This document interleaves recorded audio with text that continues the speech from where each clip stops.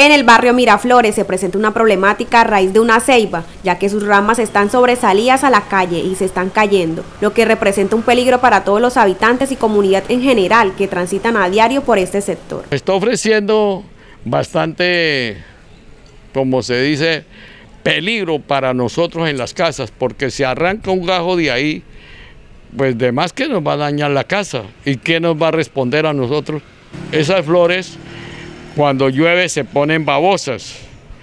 Ahí pisa una moto que esté un poco lisa la llanta, sale a rodar porque ya se han accidentado varias personas ahí, señoras con moto y también señores. Los habitantes se encuentran preocupados y manifiestan que requieren de la tala de esta ceiba lo más pronto posible, ya que está poniendo en riesgo la vida de niños y comunidad del barrio. Que traten de, que ellos tienen su maquinaria para hacer la la respectiva eh, cuidado con esa ceiba, sea, ellos tienen el deber, no es, no es pidiéndoles favores, sino que tienen el deber de, de, hacerle, hacerle mantenimiento a esa ceiba. Yo pido que la, que la, que la, que la talen para evitar cada rato estar molestando. Se espera que el medio ambiente pueda contribuir con la situación y evitar que se presente una calamidad.